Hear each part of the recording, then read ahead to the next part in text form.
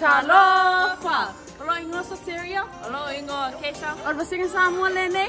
and we're gonna teach you some new Samoan words. Let's go. Now we're going to be showing you some of our Samoan values.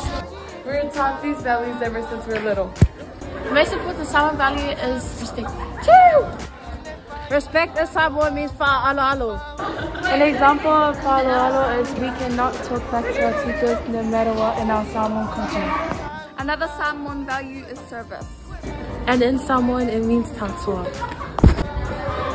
An example of tautua is doing your parents' chores like cleaning the house. And washing the dishes.